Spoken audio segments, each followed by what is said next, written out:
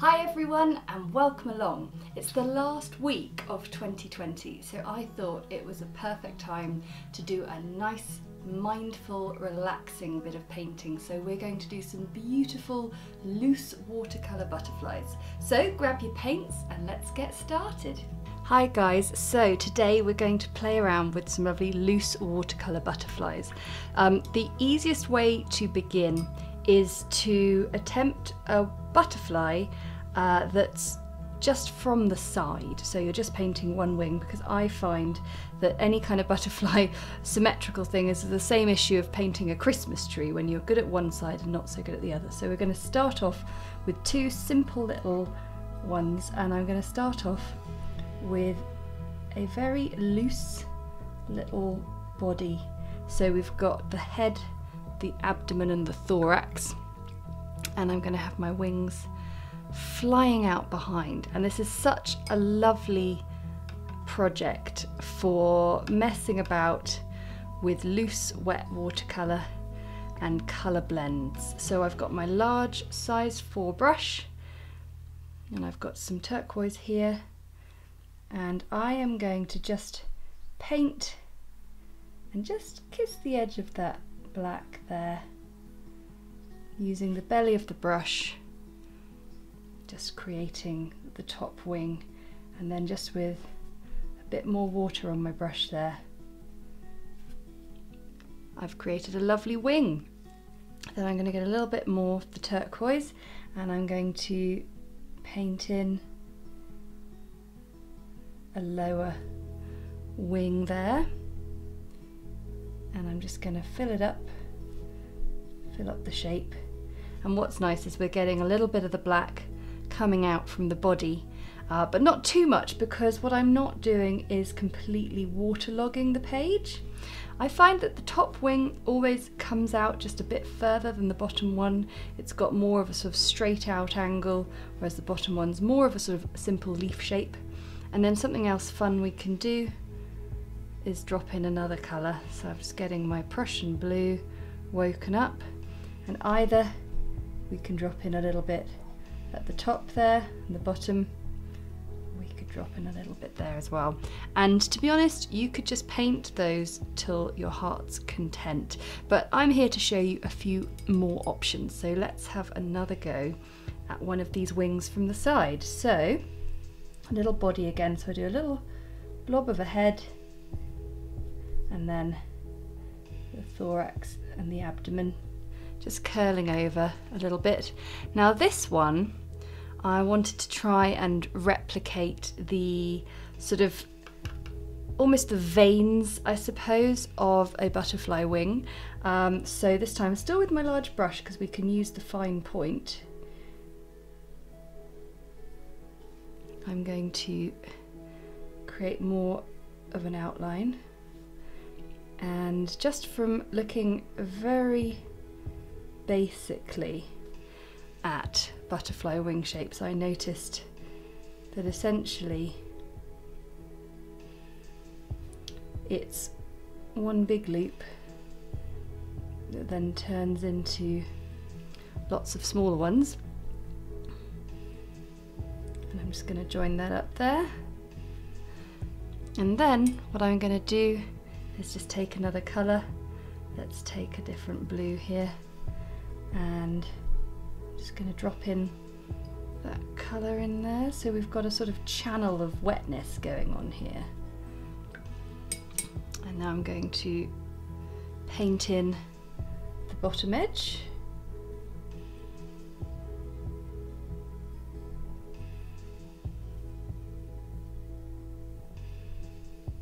do one of those nice sort of loops on the end that you sometimes get. And we'll do another little set of these little sort of stained glass windows we're creating but we're using lots of water not too much colour but just enough so we get a little bit of blend and bleed. And then that's rather pretty, but what we can do with a clean wet brush is we can just give it a little bit of extra extra fun. Um, I always wait till I've sort of done the full stained glass outline and then just with that clean wet brush but not overly wet I just want to grab a little bit of colour going in there because what happens is you just get the faintest outline almost like a shadow of the defined shapes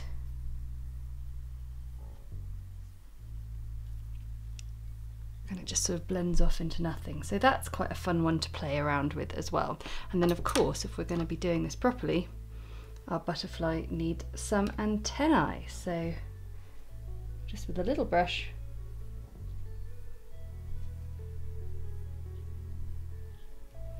and that's kind of fun. But I want to show you a butterfly with both wings open because that's really what we're here for. So, but I do recommend having a little practice first, just getting used to the shape from just one side.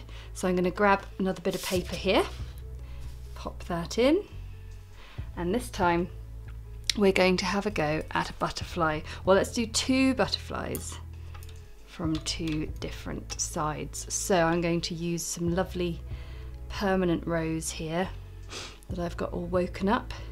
And I'm just going to start by placing in just a very small sort of central body shape that I've got as a little bit of a reference. So we've got a little sort of thorax and abdomen.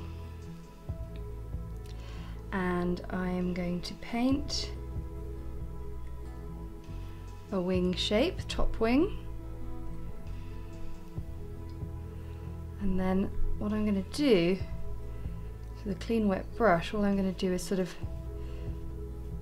fill out there with brush strokes. I'm not going to worry too much about getting the perfect, the perfect sort of edge to it, because I want. I, when I was practicing this yesterday, I was coming up with ways to give ourselves a fighting chance of trying to get a symmetrical butterfly. So what I'm going to do, I'm just going to turn the paper a little bit because I found it was easy to do one side and then really hard to do the other one. So I've got my outline. You can see that's not really the same at all, but because I'm the way I'm painting it with lots of brush strokes, it's much easier to then start evening stuff up a little bit. That's starting to look nice. And then what I'm going to do is drop in a little alizarin crimson just in both sides there. Then I'm going to paint the bottom wings. So I'm going to just leave a tiny bit of space. And all I'm doing is painting these brush strokes out. I'm not worrying about a perfect edge just yet. And then this time I need to tilt the pages this way a fraction. Because we always find it's easy to paint one side but quite difficult to paint the other. So then you can just spend a bit of time evening up your shape. There should be enough water on the brush there. You don't need to get any more colour on but now I'm going to add alizarin crimson to both sides and it should be wet enough that it's got a bit of movement, but not so much that it's flooding the page.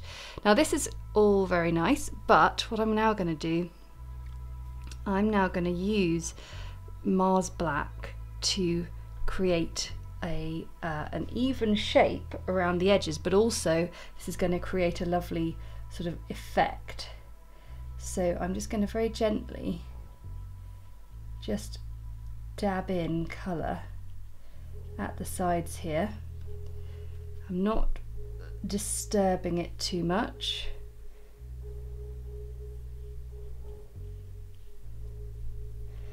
And I actually still really like the slightly sort of torn edge almost of this butterfly. And then I'm going to add in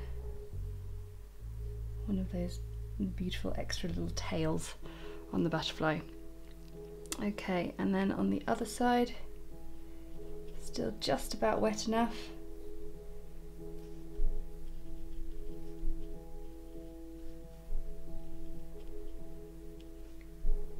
If this was all completely soaking wet, it would travel far too far along the butterfly.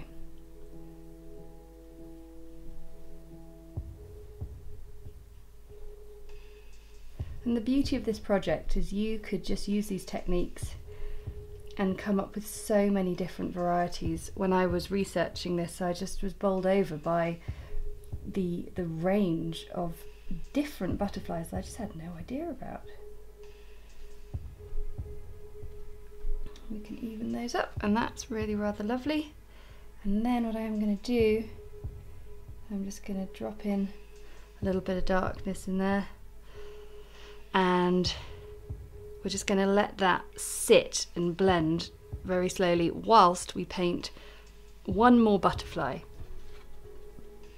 Okay, so the other symmetrical butterfly I want to do is one with a bit more sort of detail in the, the wings itself. So I'm going to start, I've got a bit too much of a blob on my brush there. I'm going to start with a little blob for the head and one for thorax, little point for the abdomen. And this time, this is another technique I came up with to sort of help me get a really nice even butterfly shape with the wings. So this time, I'm going to do shorter brush strokes and I'm going to try and not let them actually join in with each other too much and actually turn it into a bit of a design feature. Okay, and then I'm going to extend that out and I'm going to finish it off from the other side.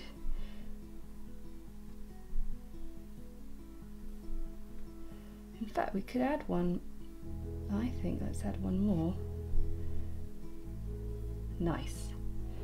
So you see I'm sort of coming at it from two sides, which I think is a really helpful thing because you sort of start off with one one side and then you're not quite sure where to finish. So if you've actually just done one side, give yourself a little moment to re reset and come from the other side and you end up creating a rather beautiful shape. Okay, and then let's do our lower wing.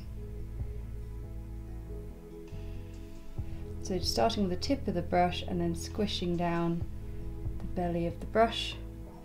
Just getting a little bit of water on there and then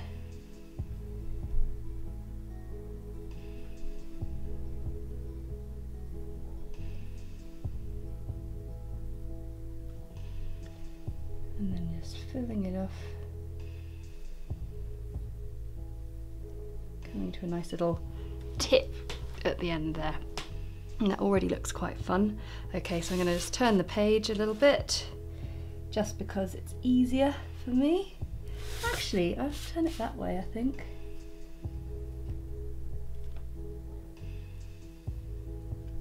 Just to get me started.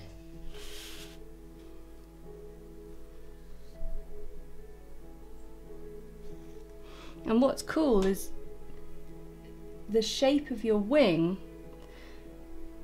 can be made up from sort of slightly different shapes, I think, because let's face it, this is a loose butterfly painting project. This is not a super, super precise one. Just a little marker there. What you will find as a slight challenge is from different sides you'll have to sort of angle your brush slightly differently to get the same sort of effects just from the way your hand holds the brush. Okay, that's nice, and then we can always just even things up either side. But yeah, I'm pleased with that. And then for the lower one, seem to be coming out further away from my butterfly's body. Okay, and then coming down. So yeah, that's the cool thing. Making it up from all these different pieces just means you can sort of piece it all together and keep sort of adjusting and adapting the shape as you go. So that's kind of fun already. But what I want to do, just with a little bit of black again, using the tip of my brush, maybe even less colour on there.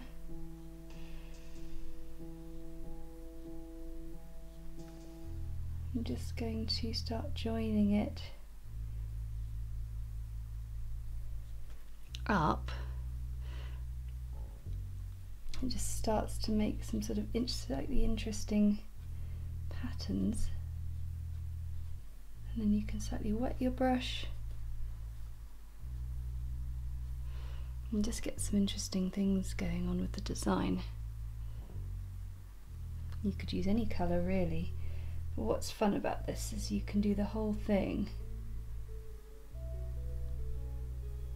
just with one brush.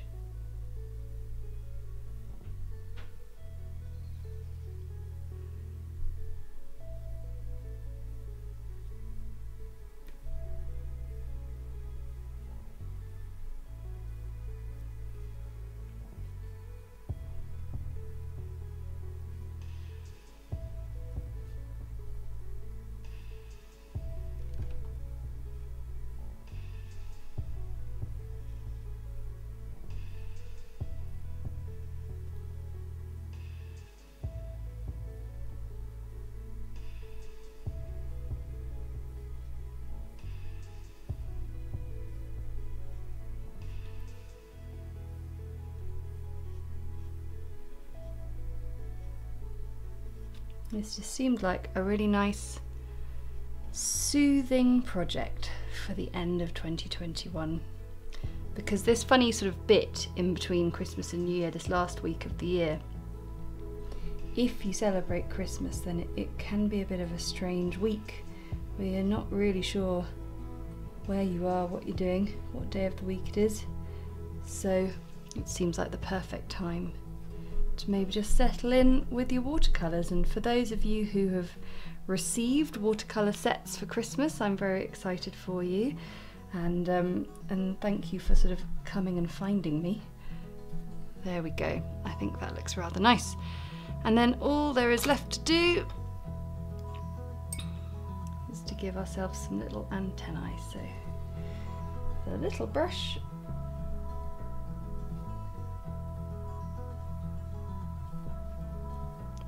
And there you have four butterflies for mindful, relaxing watercolour for New Year.